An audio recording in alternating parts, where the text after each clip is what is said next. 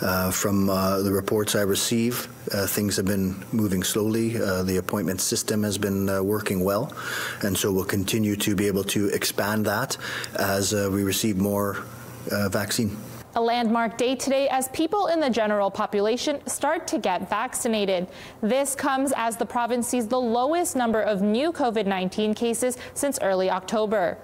One COVID 19 death was announced on Monday, bringing the total amount of deaths in the province to 896. The province also announced new race based data on COVID 19, showing that BIPOC communities in Manitoba are facing disproportionate impacts from the virus. Dr. Brent Roussin, the province's top doctor, says it's important to realize that it's not bad choices made by the people in these communities, but systemic factors like occupation, income, and housing.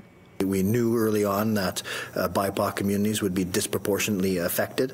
Uh, just as they are in, in uh, uh other jurisdictions. So we really wanted to, to see the data, uh, to be able to report back to our, our partners, uh, and then try to use this to find solutions moving forward. But Dr. Roussin says that the most important risk factor is age. And on Monday, the first of the general population were set to get their first shot of the vaccine, starting with people over the age of 90 and above and 70 and above for First Nations. First up, Nina Luhowi, who was told by her healthcare aide what to expect. Not the same for everybody. Some feel good, some feel maybe a little bit uh, it hurts them. I don't. Not for me so far so good. I cannot complain. She's got a few weeks before her next shot of the vaccine, but sympathizes for everyone waiting. Dr. Roussin says that the vaccine rollout is just about on schedule. I do think that this was.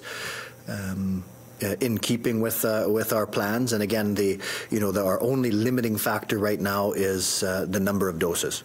For Luhowi, she says she's ready to go home and get back to her TV programs. That's it, making supper, stay all by myself. In Winnipeg, Marie Gomez, City News.